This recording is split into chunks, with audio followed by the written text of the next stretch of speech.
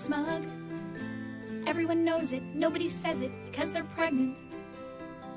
Effing son of a gun. You think you're so deep now, you give me the creeps now that you're pregnant. I can't count all the ways how you speak in cliches now.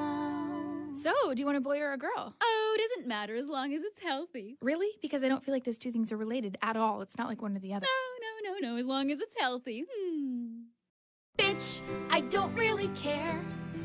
I was being polite now since you have no life now that you're pregnant. You say you're walking on air. You think that you're glowing, but you had been hoeing and now you're pregnant.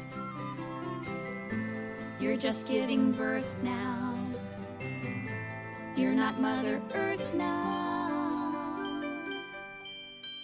So, is it a boy or a girl? Oh, we know, but we're not telling. What are you going to name it? Oh, we know, but we're not telling. Who's the father? Oh, we know, but we're not telling. Pregnant women are smug. Everyone knows it, nobody says it because they're pregnant.